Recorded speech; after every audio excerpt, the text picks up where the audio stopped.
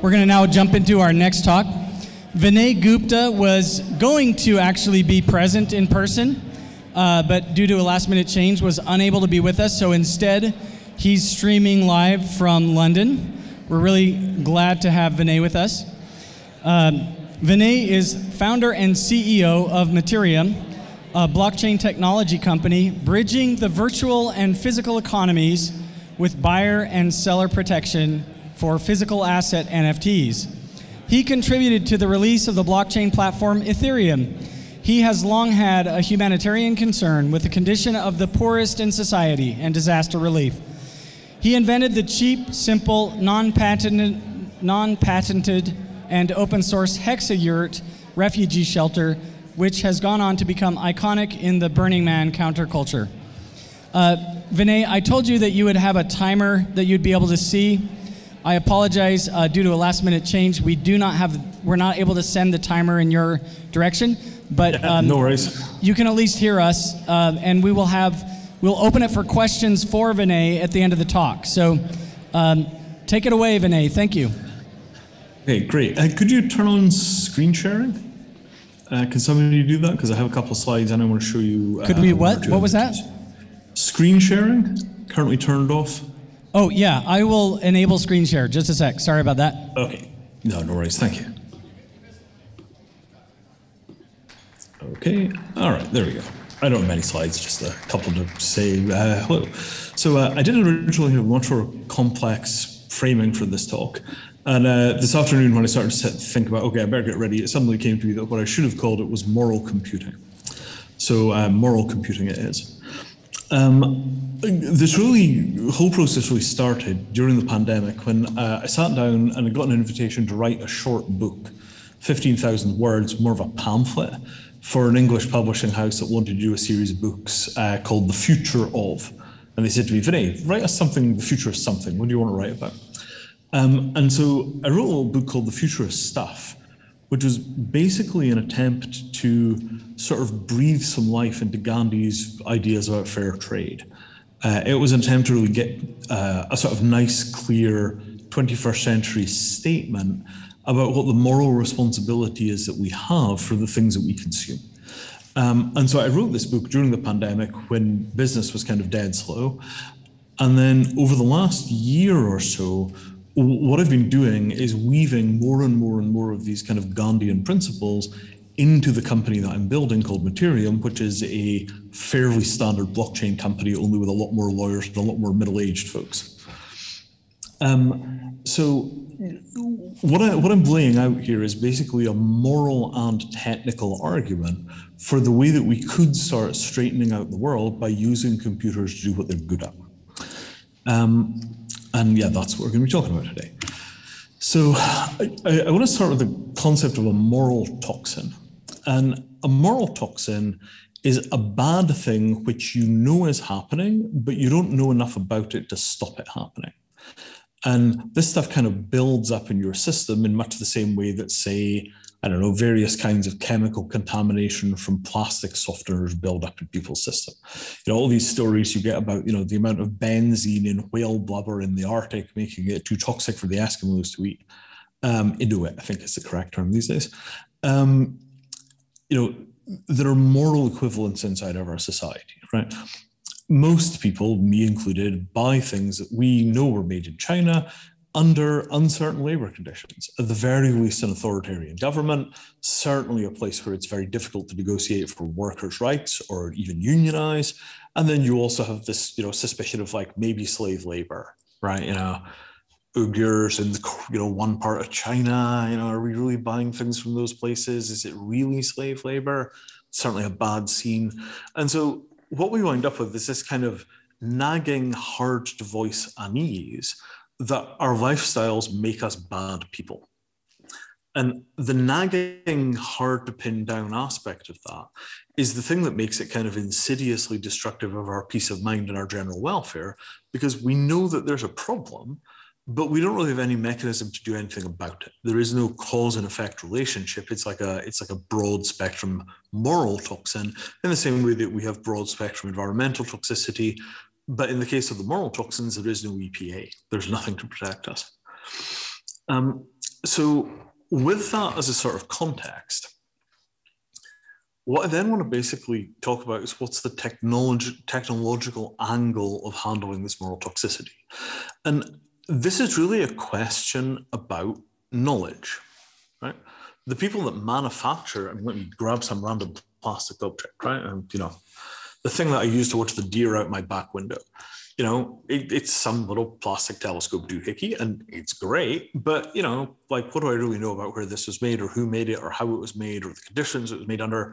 How do I know the stuff it's made out of is not kind of poisonous? There's just a whole bundle of unknowns around this thing. And what's ironic about that is that somebody knows every single piece of information there is about this. You know, the shape of the lenses, it's all in the CNC file somewhere. The material, there's a spec sheet that somebody has for the material, both the specification where somebody bought this thing, but also the information that came directly from the providers. All the chemicals that went into making that plastic, these things were bought off spec sheets. And those spec sheets could be tied into material safety databases. And it ought to be possible given that all of the information exists, to give this thing a very, very, very clear description you know, of its composition right down to the place where the materials to make this thing were mined. And the fact that all that knowledge is already there, all that information is there, it's not like we have to go and do a lab analysis to figure this stuff out. The information is all present in the supply chain. It's just, you know, the um, the information is getting bottlenecked. So when I buy this object, the money smoothly flows, you know, from me through my credit card to Amazon, through their payment rail, to the manufacturer, to their workers, to their vendors, to their vendors' vendors, to their vendors' vendors' vendors, to their vendors' vendors' vendors' workers. So we have a direction of travel for the money where the money can smoothly, smooth, seamlessly flow to the ends of the earth. But the information about what the money is accomplishing is dammed up and walled off and you know siloed, and we are protected. And I use the term in a very uh, scarecrow way. We are protected from the knowledge about how the things that we are using were really created. And the result of that is that the entire world is sort of toxified by the vague feeling that everything that we touch is probably made by slaves and is destroying the world for you know us as we age and our children and their children, particularly their children. but we can't get to the bottom of that and we can't put a stop to it because the information is siloed inside of distant organizations. And those of you who are familiar with blockchain at this point, your ears will be pricking up like, did you say information silos spread all over the world? I think I have a fix for that. So what my company did before the pandemic, before I had a chance to sit down and have a think about this, was kind of a, a, very narrow, specific use case, right? What we wanted to do was we wanted to build a physical gateway so that you could exchange cryptocurrency for physical assets gold, real estate, fine wine, fine art, collectibles in the first phase. And then in the second phase, consumer electronics, furniture, clothing, and transportation vehicles. How do you do that? You need super accurate information about what products are. And you need the super accurate information about what products are because blockchain payments are non repudiatable. Somebody rips you off in a blockchain transaction, you cannot call Amazon customer service to fix it for you. So how, getting the time to sit and think and reflect about you know different parts of my life and how to bring them together i'd always been very interested in gandhi's work. I had a long career as a humanitarian attempting to get you know solutions to things like climate refugees. Um, but i had never really built the moral bridge intellectual bridge between that side of my life and that side of my work and the side that was much more directly related to you know the blockchain and the future of technology and that bridge building turns out to be a pretty pragmatic thing. Uh, I'm just going to share screen here for a second and actually show you a thing that we do. Uh, if I can find the window. Oh no, where's it gone? One moment. Oh, come on, technology. Go on, do me a favor here. Just work the first time. Oh, I've lost my window. Rats. No, no, no, no, no. Um, sorry, this is going to take me a tenth of a second. Oh no, what has it done? There we go. Right. Off like a herd of startled turtles. Um, so there we go. Share screen. Oh, come on. What has it done?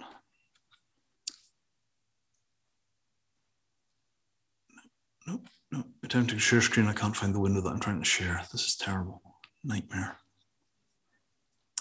Come on, just share the right window. Damn you. There it is. Okay. Apologies for that. So um, this is a thing called a Mattereum Asset Passport. This is fundamentally what my company does for a living. So, you know, on one side you have uh, a famous Australian DJ who wants to sell. Recording stopped. Uh-oh. Uh, and uh, on the other side, um, there is uh, a set of documentation about what that asset is. You know, here's the thing, and on the other side, here is the documentation about the thing. so this is one of the first assets that we've done that has integrated inside of it this thing that we call a, a warranty claim on a carbon offset.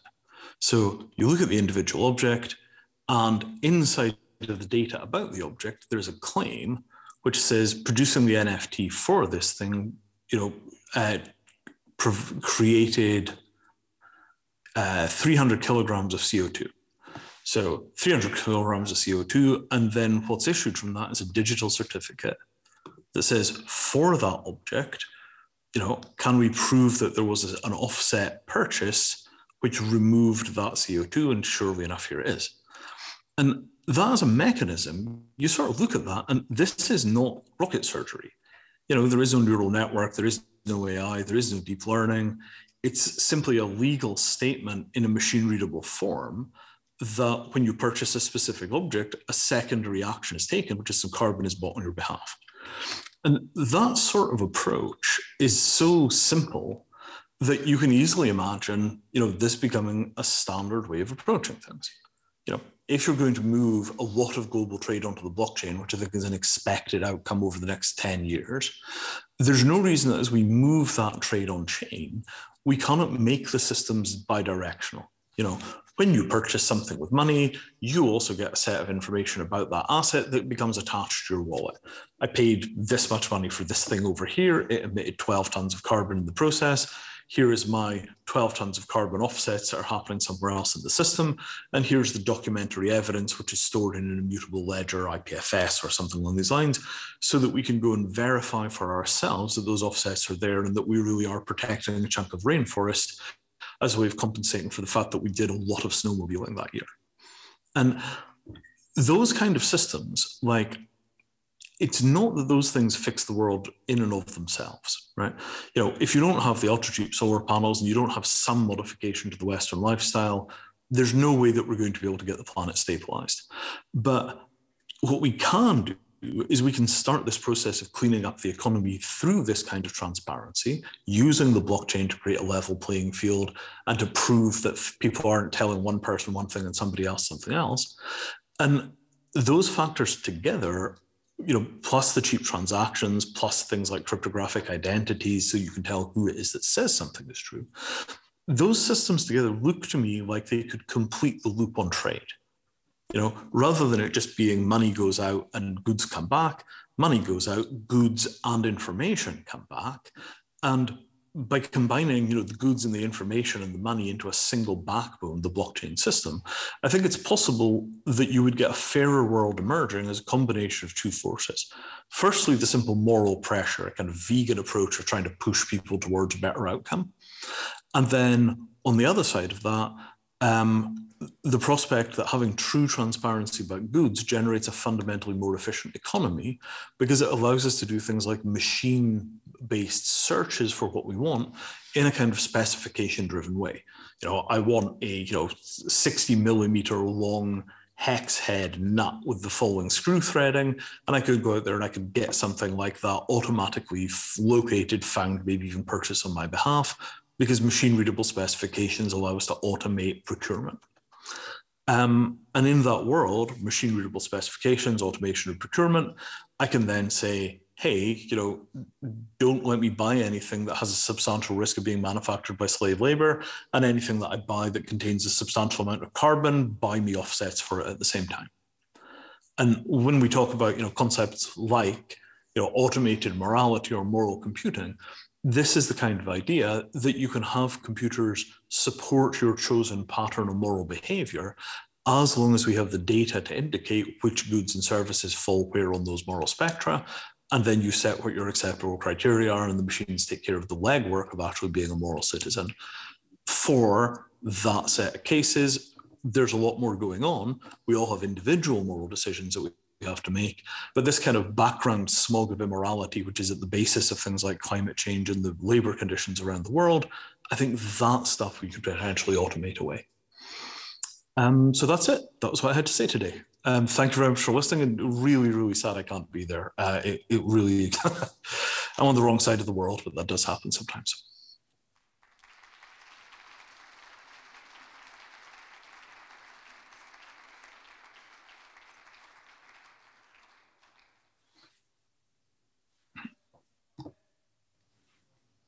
Um, is there anything that would prevent the digital twins of people from being an NFT traded on a supply chain like Mattereum, like uh, in human capital bond markets?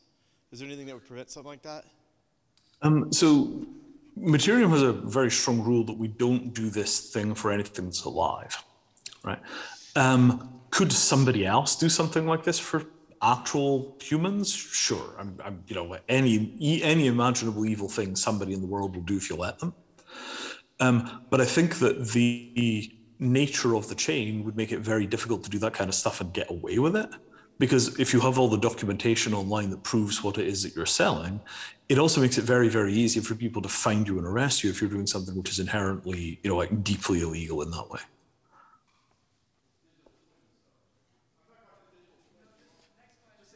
Digital twins, he says. Okay. Digital twins, I may have misunderstood the question. So could you, could you clarify a little? next question, they said. Okay. Uh, yeah, my question is, as you're helping to create these contracts between parties, how do you help instill trust between some of the agents? Or um, how do you implement some of these Ricardian-like contracts from the human behavior side? Mm, yes. So the approach that we take on this is there are no facts in the Mattereum system. The Mattereum system doesn't allow people to discuss facts at all. All that we have is liabilities. So party A says, you know, this is a good condition 57 Buick and it's all original parts, including the engine.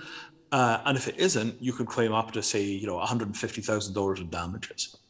And that approach to have every single piece of information that a person uses to make a decision be directly backed by a warranty provides a really, really high standard of trust in the transaction, very specifically because we don't trust the people.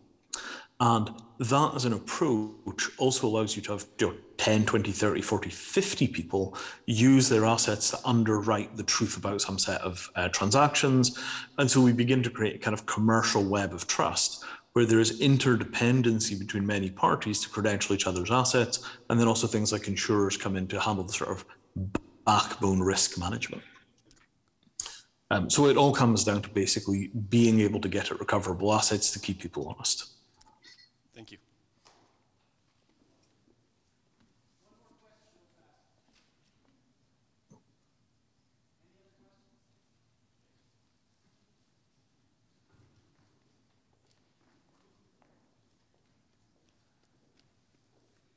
Thank you very much, Vinay.